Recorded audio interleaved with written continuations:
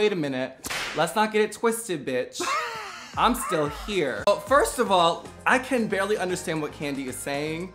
We need, I need subtitles. Like, I have to focus so hard. Did you like the houndstooth? I thought this was for Tina, a strong look. No, no, no, no. I just, I'm not a big fan of it. It's stretchy, houndstooth suit. I'm just not, no.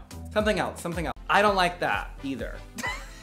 There's a lot of baldies running around uh, the drag race franchise. Do you like the giant bag? I do. No. and I don't like wet wigs. Conceptually, I like it.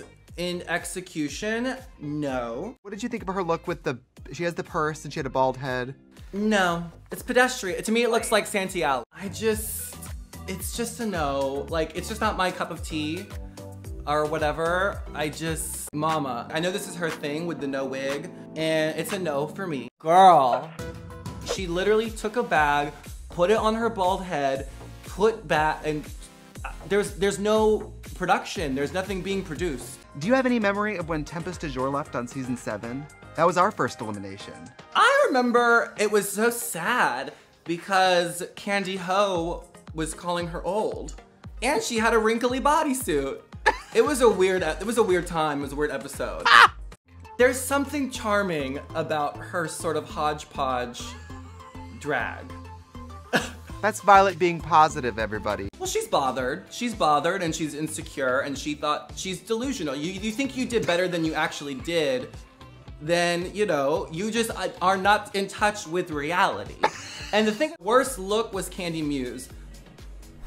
The, I don't even know what to call it. Mama, if you have the wrong shoes on, out the door.